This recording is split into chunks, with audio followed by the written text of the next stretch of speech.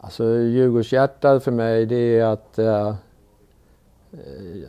gör, göra rätt saker varje dag när man kommer till jobbet, alltså när man kommer till träningen. Så här, ställa upp för varandra och eh, utåt mot eh, omgivningen visa att vi, vi, är en stark grupp, vi är en stark klubb, vi, vi är starka tillsammans. Så det är för mig Djurgårdshjärta.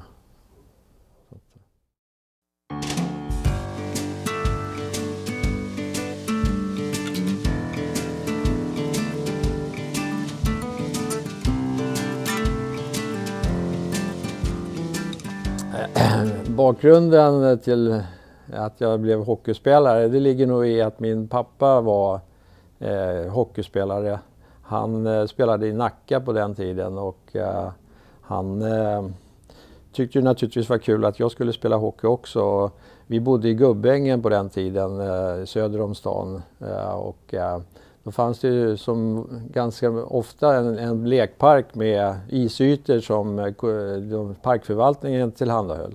Så där åkte man ju omkring på knölarna då till att börja med och spelade då hockey och landbandy och, och så. Sen kom jag med i ett eh, hade vi ett litet kvartersgäng som hette IF Cirkeln. Vi bodde på Cirkelvägen. Eh, och eh, sen så tror jag vi, mitt nästa lag var Olympia. Eh, då var jag kanske typ eh, 11-12 år. Eller eh, 10-11 år var jag. Och eh, vi spelade Sankt Erikscupen och mötte ett lag som hette Kubolen där Curre Lindström var tränare. Eh, sen blev jag då värvad till Hammarby som 12-åring av då Curre. Eh, och så vi spelade i hans gäng då som 12-åringar och fick åka till Ryssland och då spelade vi i Hammarby. Eh, och där spelade jag ju under många år då, eh, hela juniortiden och så vidare. Och vi var framgångsrika i TV-pucken vi, de kallade det, vår Hammarby-femma för TV-pucksfemman. För vi var en hel femma som kom från Hammarby och vi vann det året, 1973, TV-pucken. Eh, efter Hammarby så kom vi med i A-laget i Hammarby som 17-åring. Spelade där i två år, vill jag minnas att det var. Det var det här typ eh, 74-75. Och eh, sen så gick eh, Curre Lindström till Södertälje och jag följde med till Södertälje. Och eh, det var väl eh, väldigt bra spelare där. Eh, det var Stisse Johansson, så gammal är jag, jag vill säga, eh, fick jag spela med. Och eh, Arne Karlsson och eh, Kjell-Arne Wikström. Och det var många duktiga spelare. Inte minst Glenn Johansson var ju där som var fantastiskt. Och sen Första gången då träffade jag på Mats Faltin. Eh, spelade jag med i, i, eh, i Södertälje. Och ehm, eh, ja, det var lärorikt. Jag pendlade. Anders Kalle var förresten med där också. Han gick till Djurgården sen. Sen eh, åkte vi ur med Södertälje, tror jag var 77, 78 där någonstans. Och eh, då gick jag tillbaks till Hammarby under ett år. Så jag spelade i Hammarby ett år och sen blev jag värvad till Djurgården då året 78-79. Eh, och sen efter det så spelade jag i Djurgården fram till 1990 då. Jag avslutade med SM-guld. Så att eh, det har varit en lång karriär måste man säga. Men eh, det, det har ju varit, eh, så här i efterhand så är det ju bara roliga minnen som man lever med. Så att, eh, det är eh, lite kort bakgrund till varför jag började spela hockey också. Alltså när vi började då, eh, när det gäller träning och så vidare, då var det ju mesta, eh, det var inte så mycket träning. Det, det, var ju en viss sommarträning och så vidare. Och vi, eh, när vi var i Hammarby så körde vi ute på Hellasgården kommer jag ihåg. Och, Eh, men, men det mesta gick ut på liksom när säsong, issäsongen drog igång. Då blev det lite mer kontinuerligt. Och det var väl egentligen först när Borken kom in i bilden som det blev mer systematiserat med träningen och med kosten och så vidare. Dessförinnan, eh, jag har ju lite episoder när jag spelade i Hammarby. Då spelade vi på lördagarna här på Hovet. Och vann vi matchen, ja, då kom lagledningen in och säljde in en back öl. som tack för att vi vunnit sådär. Så att det var ju mera klacksparkar på den tiden, vid 75-76 där. Uh, inte alls så, så, så uh, nogsamt på det sättet. Då. Men sen så när vi, jag kom till Djurgården då, då var ju Bert-Ola Norlander eh, som var tränare. Och eh, det var väl inte hans huvuduppgift utan han hade ju ett arbete på Electrolux som var viktigare än hockeyn. Och, och det, det speglar ju av sig många gånger liksom att, eh, på oss också. Då. Utan det, det, var som jag var inne på, utan det var ju först när Borken kom och han, han, gjorde, han har ju förändrat, i mitt tycke, ishockeyn väldigt mycket i, i Sverige. Alltså det, han var den första som överhuvudtaget uttalade om att vi skulle slå ryssarna. Det var helt otänkbart innan han började säga de orden. Och det gjorde vi ju sedermera sen. Så att... Ehm,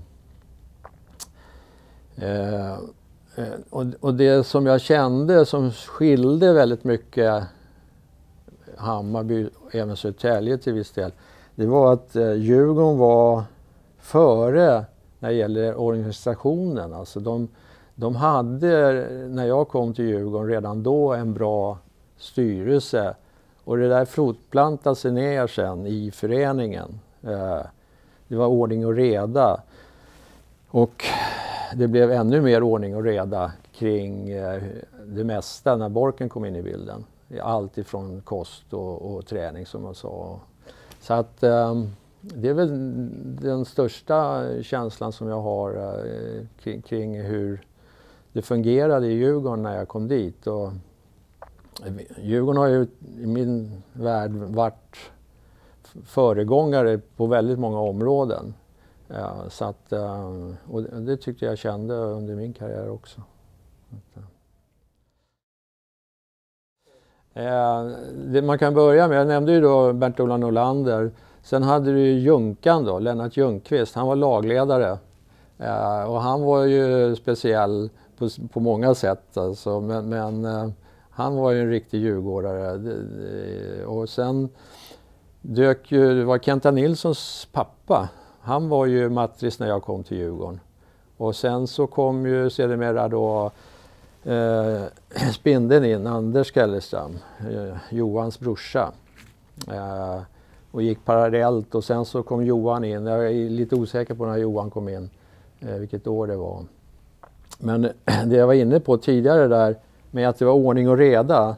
Det, det fanns ju även då på materialsidan. Där var Djurgården föregångare. De gjorde mycket saker och ting som, som de andra lagen tog efter. Sen var ju Björn Rylander lagledare under en lång period där. Eh.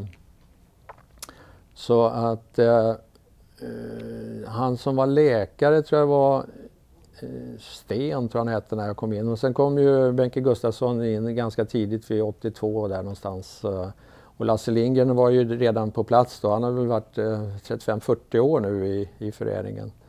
Så att eh, det, det, är kontinuitet och man brukar säga att det sitter i väggarna. Jag vill nog påstå att det, det gör det. Det är mycket sånt som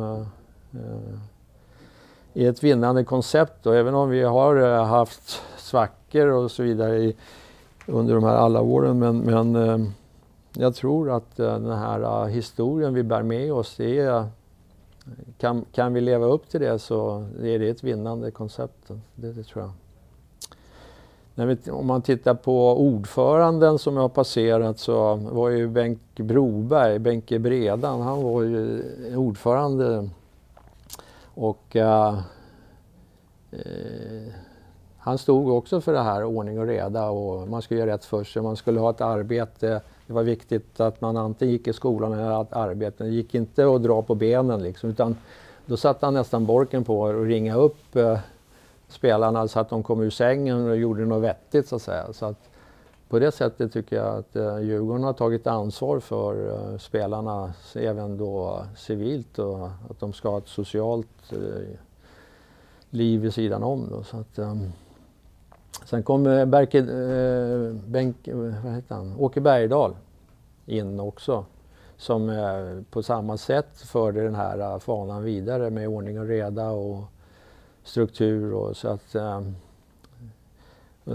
det var väl, han var väl den sista ordförande jag hade som spelare. Sen har det passerat jag satt ju i styrelsen i 18 år så att jag har ju varit en väldig mängd ordförande som har passerat på vägen då. Men eh, det finns många bra ordföranden som har varit i Djurgården vill jag påstå. Så att, eh, och det här sprider sig, jag var inne på det tidigare, det sprider sig ner i organisationen. Alltså jag tycker det är jätteviktigt att ledningen är bra, har en röd tråd i sin verksamhet.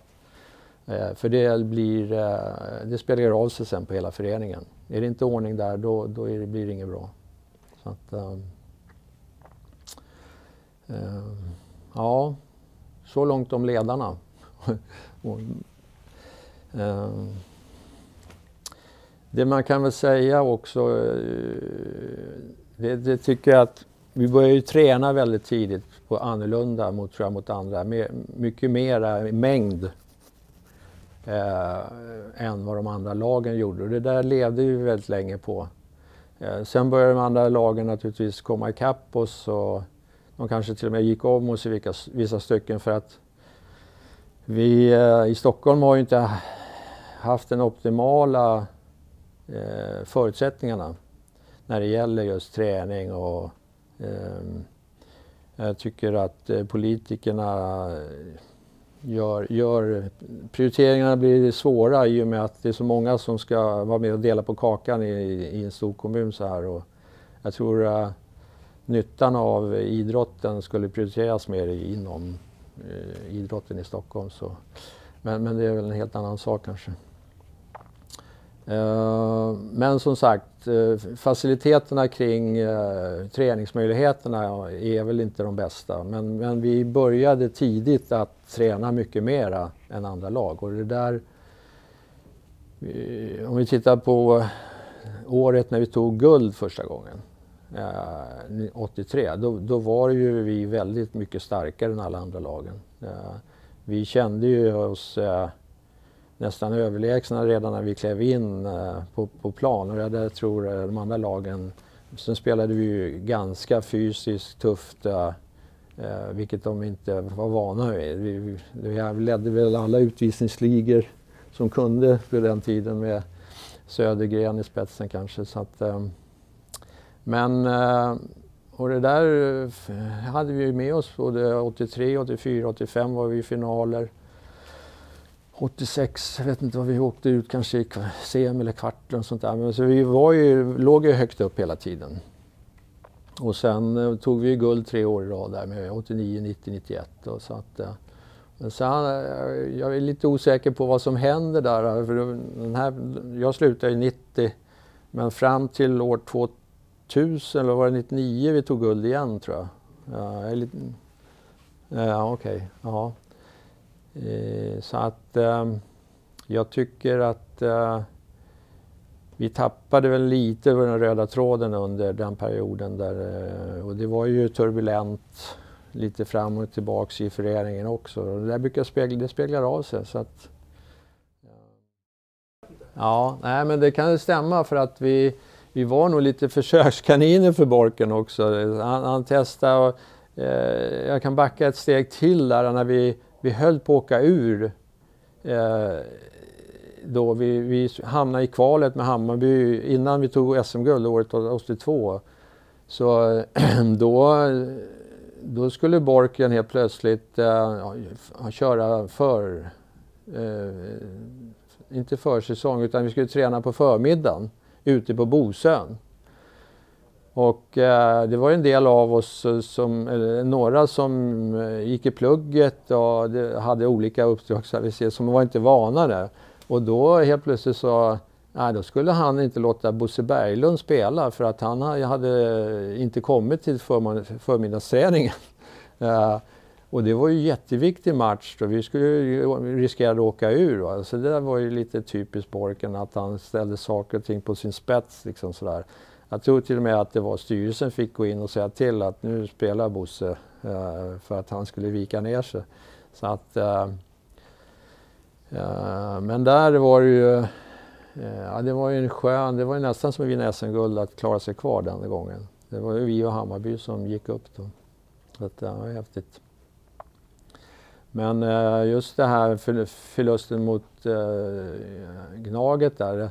Jag har tittat på dem i efterhand på Youtube och vi, vi kunde ju lika gärna ha vunnit men det var ju, de hade ju några spelare som var extremt bra. Det var ju Per-Erik Eklund och uh, Leffe Holmgren då som uh, gjorde så att de vann då. Uh, men jag, jag, om vi var nedtränade, ja det kanske vi var, jag kommer minns inte riktigt det. Men sen året efter så mötte vi ju Södertälje och då hade vi dem ju på gaffeln här hemma och jag tror de gjorde eh, stötte in någon kvittering när det var bara några sekunder kvar. Annars så hade vi nog kunnat vunnit den där. Så förlorade vi avgörande matchen i eh, Norrköping tror jag vi var och spelade. Och då vet jag att jag var så irriterad för ledningen, de var så nöjda ändå kändes det som eh, för att de hade tjänat väldigt mycket pengar på det där. Men vi, Eh, men det kanske var eh, någonting som jag bara tyckte då för jag var sur för att vi förlorat. Så att, eh, men eh, det var som du sa, vi, vi var ju fantastiskt duktiga under 80-talet. Jag tror vi spelade, jag spelade i alla fall fem finaler och gick till semi, kvarten och sådär hela tiden. Då, så att, uh, jag, jag, jag, vill hävda att det berodde på att vi tränade väldigt bra.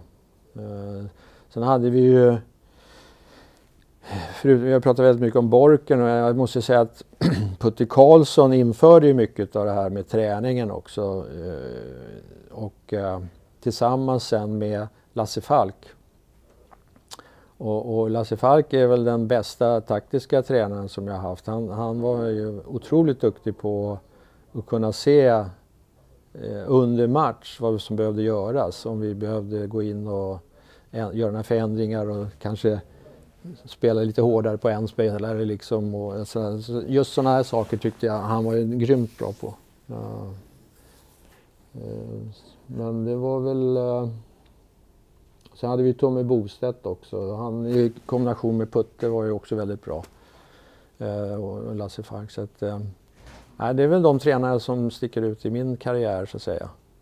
Jag hade ju Curry Lindström också.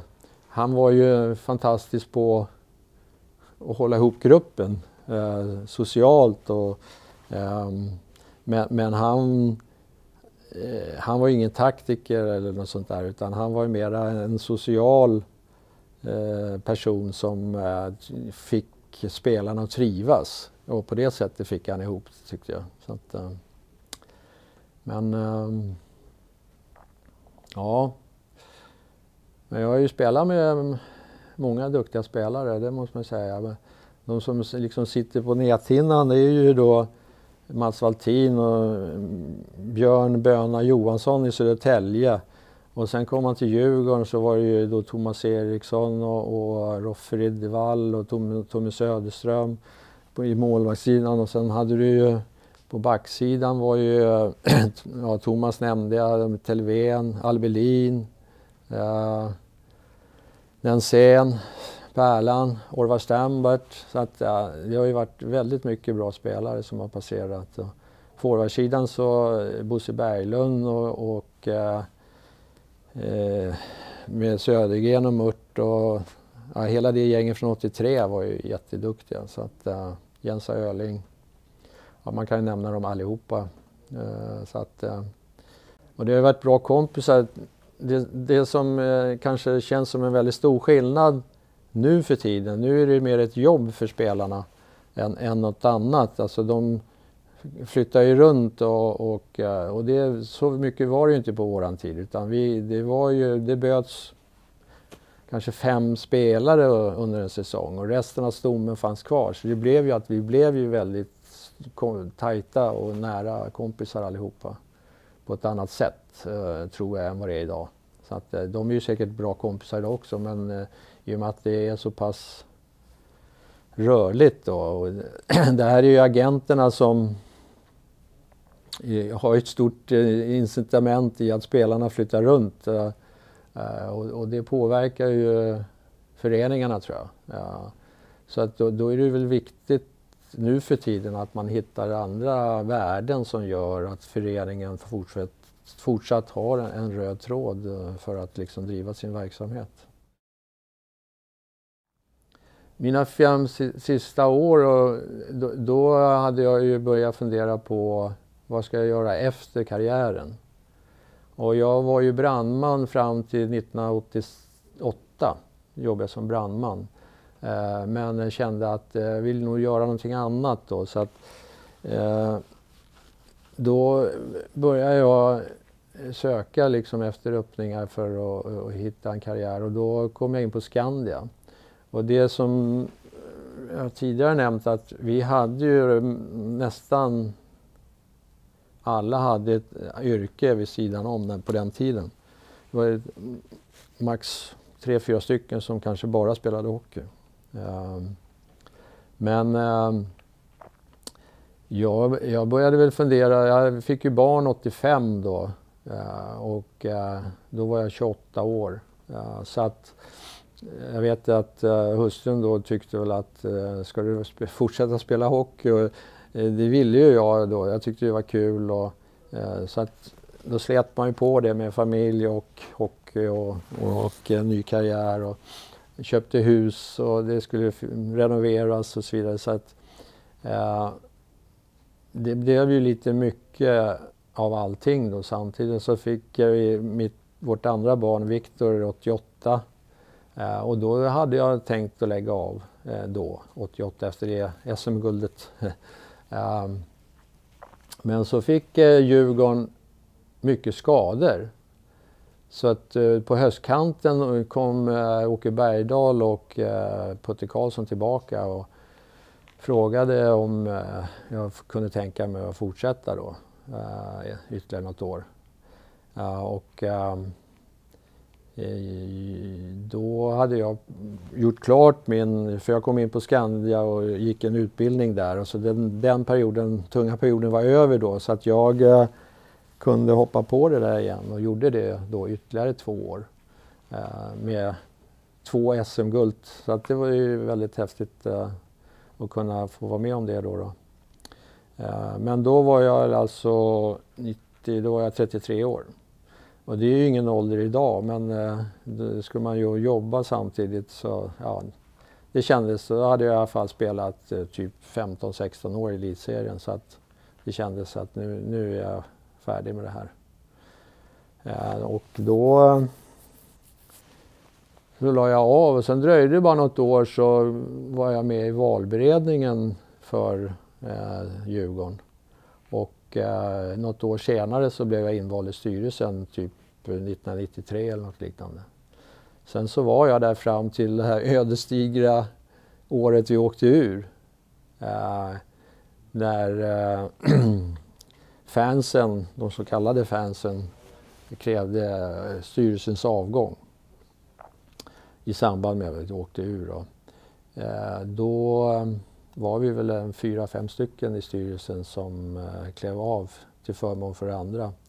Eh, och det kanske var helt rätt att vi skulle sluta och det skulle komma in nya för att det som var väldigt bra i och för sig det var ju att Karel och Leicester var kvar och har behållit kontinuiteten. Eh, sen har det kommit in mycket kompetenta nya styrelsemedlemmar som har fått ordning på ekonomin och de har den här röda tråden i verksamheten. Och jag tycker de gör det jättebra, det de gör nu. Så att eh, organisationen är uppbyggd med sportcheferna, eh, du har allt det där på plats.